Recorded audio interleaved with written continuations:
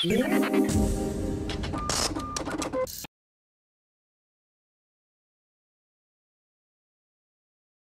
quiero aclarar algo que me es muy importante desde el punto de vista del tema de lo ambiental, y es que nosotros pedimos, eh, como se han dado cuenta, no nos importaban las posiciones que tuvieron los panelistas, sino tener panelistas de todas las posiciones y cada uno con distintas perspectivas para poder tener un panel abierto y que digamos cada uno diera lo que piensa de manera abierta.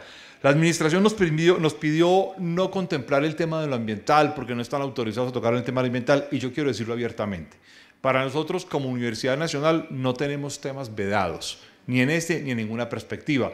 Independiente de que los profesores a, tema personal, a nombre personal, tomen posiciones particulares, para nosotros es clave como instituto y como universidad debatir los temas abiertamente. Por tanto, en esa perspectiva nos era claro eh, poder discutir la, la, condición de lo ambiental. La administración nos pidió no, no contemplar, sacar el tema ambiental, para nosotros no era una condición ni contemplable ni admisible, teníamos que hacerlo y obviamente para nosotros era claro este debate.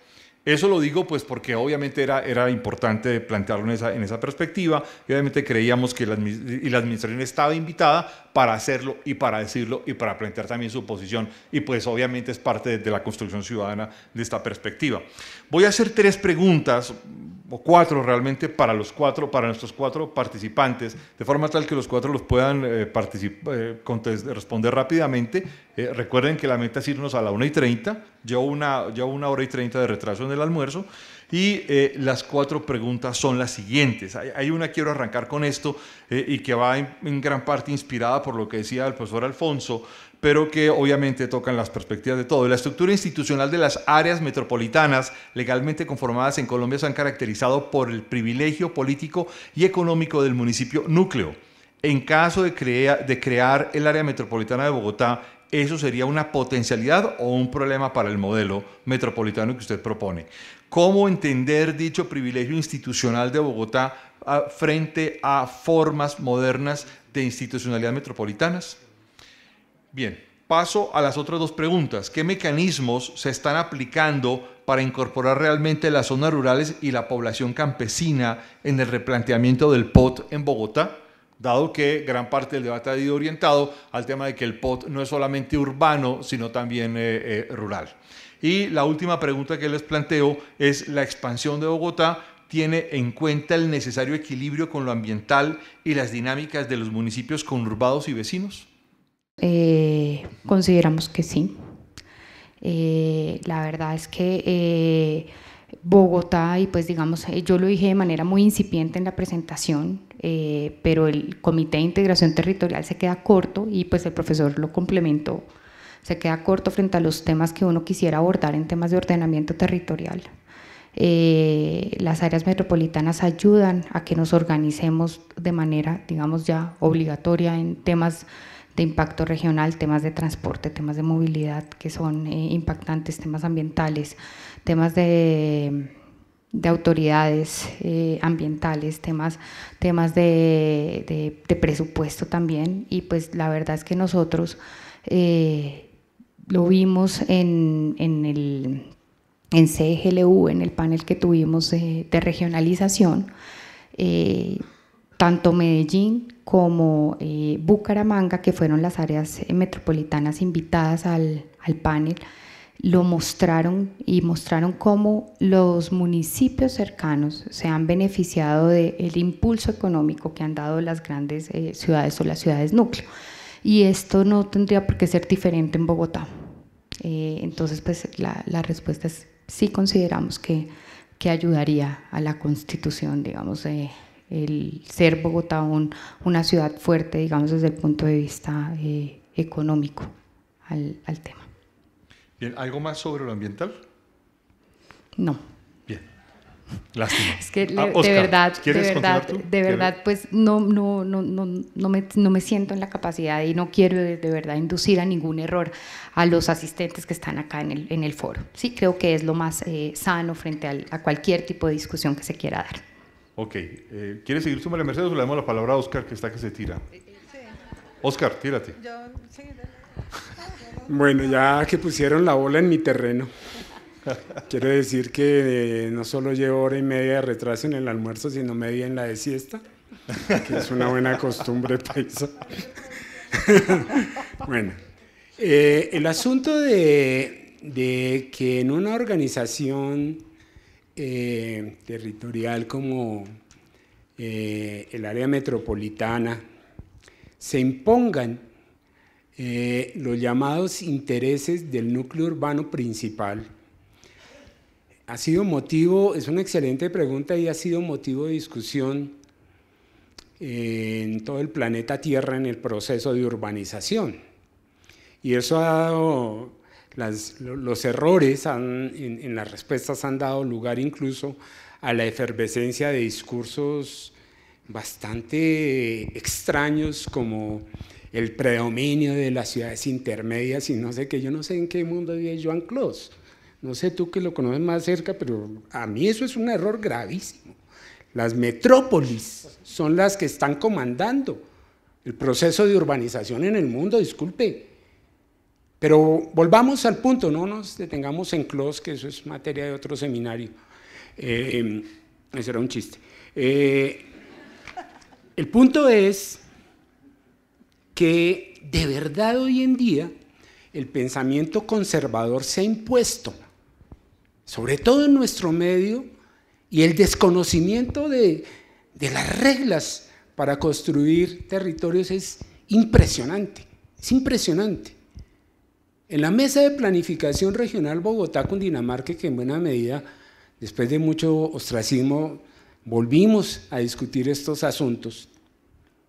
En esa época el alcalde era Antanas, yo fui candidato al consejo, ocupé el lugar 20 con un voto. Eh, por los visionarios. Yo le dije, yo soy visionario y soy un socialista visionario.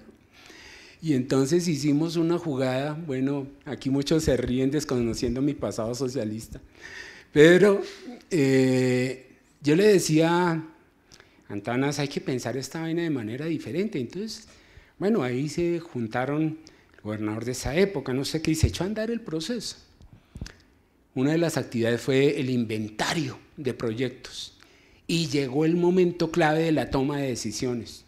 Entonces se seleccionaron los tres top, se reunieron a los alcaldes, ¿no es cierto? Y entonces vamos a decidir por cuál proyecto arrancamos, si estaba el del río Bogotá, ¿no es cierto? Ya estábamos ante el Tribunal de, Cundinamarca rindiendo cuentas. Y entonces Santana dijo, un momento, ¿cómo es esto? Bogotá es la que aporta la mayor cantidad de dinero, la que tiene la mayor cantidad de población y mi voto vale lo mismo que el de Oaxaca, que en ese momento era el más pequeño? Sí, vale exactamente lo mismo. Se levantó y se fue. Una persona tan inteligente como él. Se levantó y se fue y hasta ahí llegó el asunto. ¿Por qué? ¿Por qué ese asunto? Yo, yo acostumbro poner un símil, que es la ley de propiedad horizontal. Oscar, un minuto. ¿Qué es la ley de propiedad horizontal? Y termino en 30 segundos. Después del minuto, que es lo siguiente. Cuando asistimos a, los, a, las, a, las, a las reuniones de copropietarios, todavía hay gente que cree que se vota por coeficiente de copropiedad. Eso es un error bestial. O sea, el que vive en el penthouse y el que tiene la mayor coeficiente pone las condiciones a los demás. Eso es antidemocrático claramente.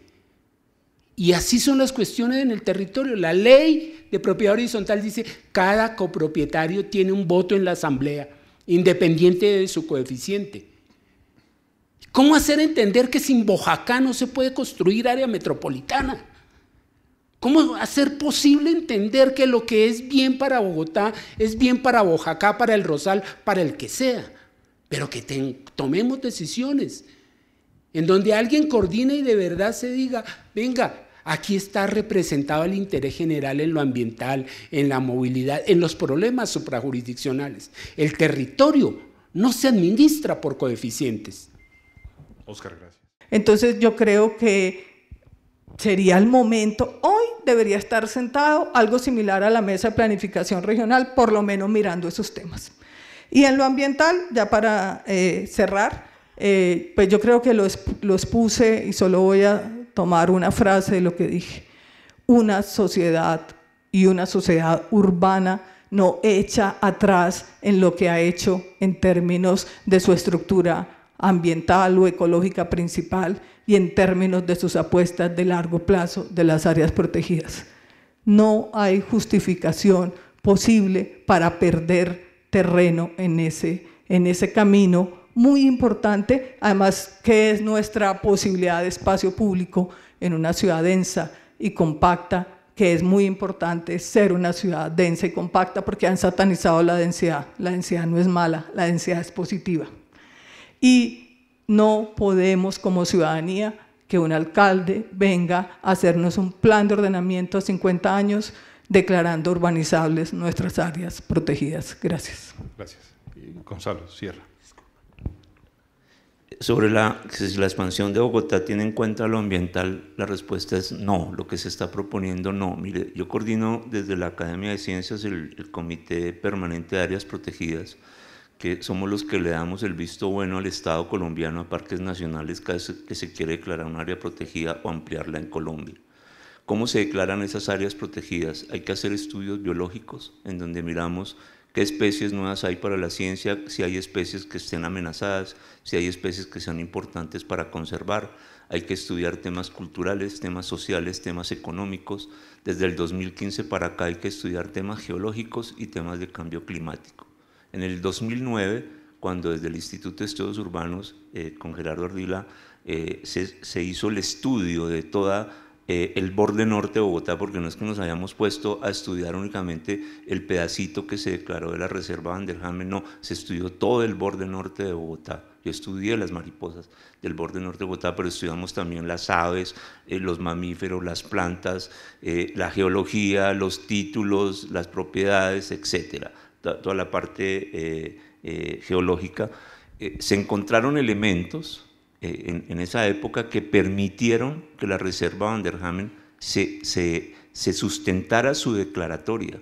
Y desde la Academia de Ciencias se envió una carta al Ministerio de Ambiente y a la CAR eh, avalando la declaratoria de esa reserva, tal cual se declara el Parque de Chiribiquete o, la, Reserva de la Sociedad Civil o cualquier otra área protegida a nivel nacional o regional que se declara en Colombia. Entonces hoy en día no nos pueden venir a nosotros a decir que van a construir en las 1.395 hectáreas y en la expansión de Bogotá unos edificios que mostró María Mercedes el Renders, donde van a pasar árboles, transmilenio, ciclovías entre edificio y edificio, y que como esas líneas rectas verdes que presenta el alcalde en, en esos renders suman 1.750 hectáreas, entonces que estamos protegiendo más de las 1.395 que se están proponiendo que es la construcción de la reserva Vanderhamen. Y nos viven mostrando unos invernaderos que si se leen el plan de manejo de la reserva que está aprobado por la CAR, ustedes colocan en Google plan de manejo reserva Tomás Vanderhamen y bajan el archivo y se ponen a leerlo y ven que ese 33% de esos plásticos que están en la reserva Vanderhamen o en los tales potreros llenos de vacas que nos muestra el tiempo o los distintos periodistas que tienen contratados en la alcaldía para que